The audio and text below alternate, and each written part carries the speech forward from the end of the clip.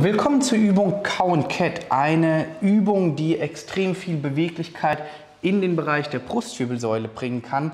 Super wichtig bei Schulterthematiken hier sehr, sehr früh mit dem Öffnen der Brustwirbelsäule anzufangen.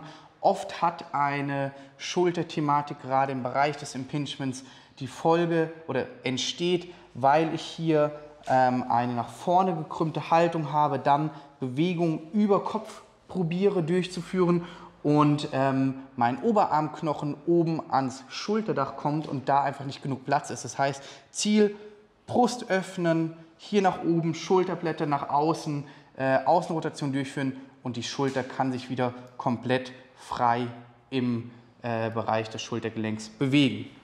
Das heißt, ihr braucht für die Übung im Optimalfall eine Matte oder ein Handtuch. Geht auf alle vier.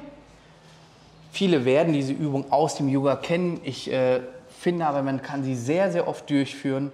Ihr äh, geht ungefähr in, genau, Hände sind unter, unter, euren Schultern, die Hüfte ist über euren Knie und jetzt drückt ihr einmal komplett euch in einen Buckel nach oben, könnt dabei das ähm, Kinn wirklich auf äh, die Brust legen und genau in die entgegengesetzte Richtung arbeiten. Das heißt, ihr habt einmal einen Katzenbuckel, geht dann komplett in ein Hohlkreuz, blickt zur Decke, perfekt. Hier könnt ihr wirklich mal die Hände und die Knie aktiv zusammenschieben, als wolltet ihr probieren, dass die Matte unter euch sich nach oben wölbt.